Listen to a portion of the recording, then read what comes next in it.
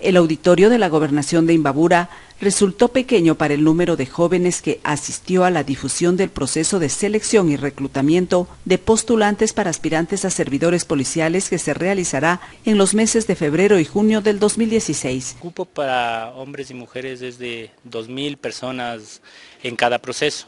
Sería más o menos 1.600 personas para policías varones y 400 para policías mujeres. En esta oportunidad, uno de los requisitos de ser bachiller y haber aprobado el examen nacional de la educación superior de marzo y septiembre pasados, mínimo con 700 puntos, y no haber aceptado ninguna carrera en el sistema de la educación superior. Se trata de conseguir a los mejores ecuatorianos del país, además de seleccionar a todos los mejores postulantes, eh, mejores puntuados y además de eso que hayan obtenido las mejores calificaciones, ya sea esto en académicas, físicas y demás pruebas que se toman para el ingreso a la Escuela de Policía Nacional.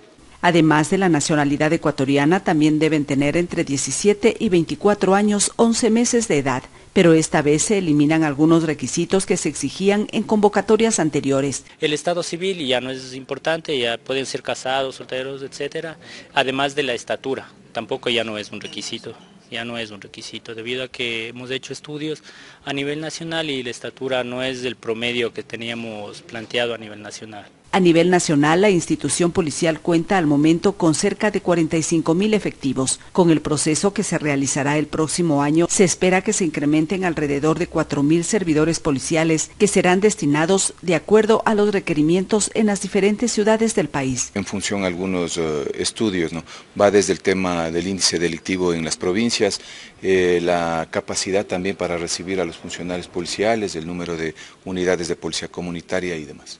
Las inscripciones se realizarán a través de la página web del Ministerio del Interior. Primero, la inscripción se lo realiza todo en línea. Eh, la página web está abierta los 365 días del año para que los señores postulantes se encuentren obteniendo su cuenta en el correo. Con cámaras de Galo Vinuesa, Nancy Valdivieso, Prisma Informativo.